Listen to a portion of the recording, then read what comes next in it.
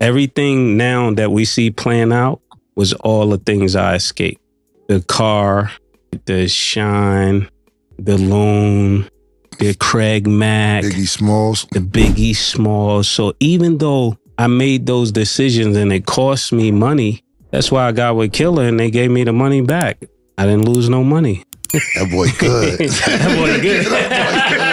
that boy good. That boy good that boy good.